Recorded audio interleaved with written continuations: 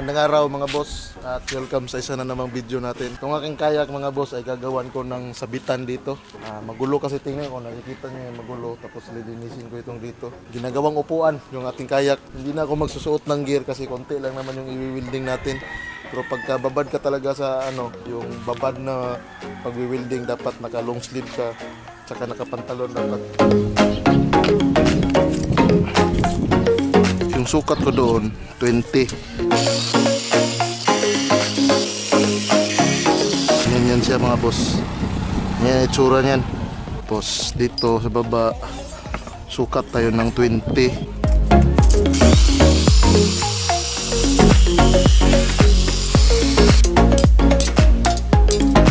Gamitan natin ng skwala. Yung skwala natin dito.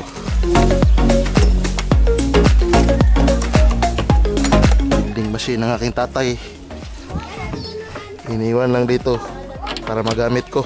So ispatan na natin to mga boss.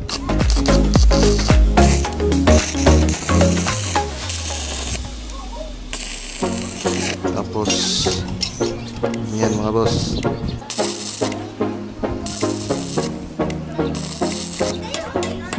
Kasi kailangan eskwalado to dito banda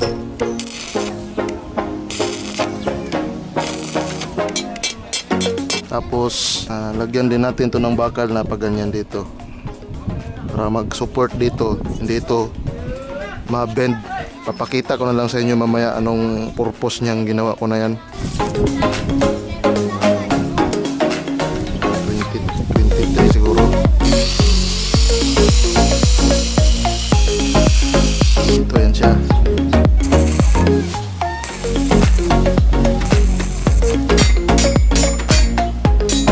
Pakita ko sa inyo anong ano nito. Anong itsura nito. Ilagay natin. Dito yan siya mga boss. Yan. Ah, ganyan yan siya.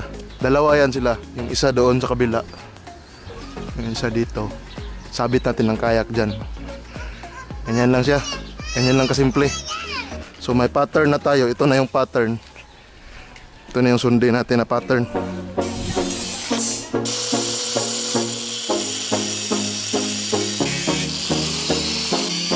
Ito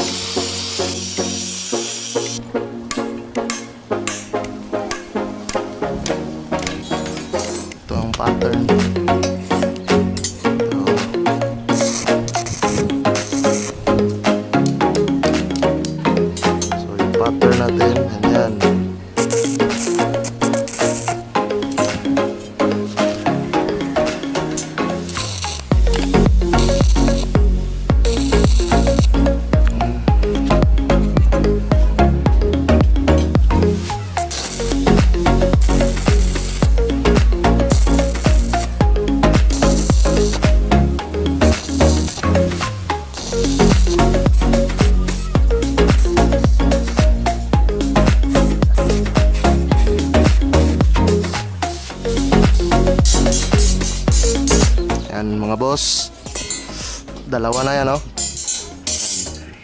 Na natin kung pwede na bang hindi nalagyan ng bakal sa gitna. Isa dito. Kaya na siguro nito ang bigat ng kayak.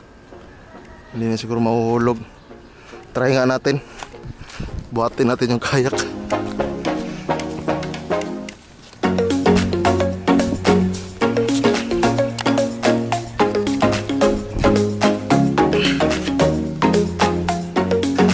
Kung bibigay yan katagalan mga boss.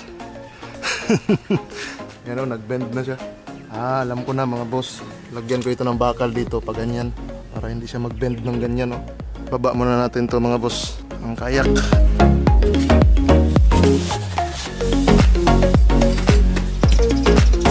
Dito banda mga boss.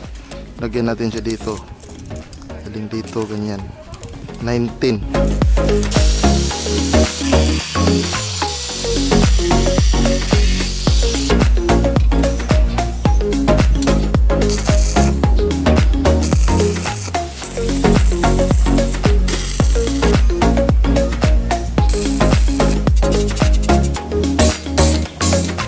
Sabit ulit natin. Tibay na yan mga boss.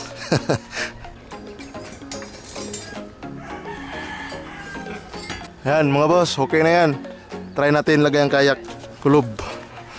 Oh. Ah, raman si ayan mga boss. Hindi na siya ano. Lamat ah. okay na, hindi na siya umaalog oh. Hindi na siya masyadong kagaya kanina na grabe yung alog niya. Ngayon matibay na. Ayan. Pwede na yan.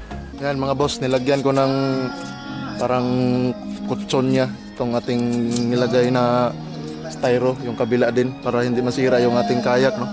Yan. Galing sa aircon yung tulo na tubig dito. Bihira. Dapat pala lagyan ko ito ng tabon. Pero yan, okay na yan mga boss. Pinturahan lang yan. Yung kayak natin, dadating din yung araw, pipinturahan din natin yan. Salamat sa panonood at sa support. Sana i-like nyo, share at sana yung mga hindi pa nakasubscribe ay mag-subscribe kayo mga boss. Hanggang dyan ang ating video. Paalam muna.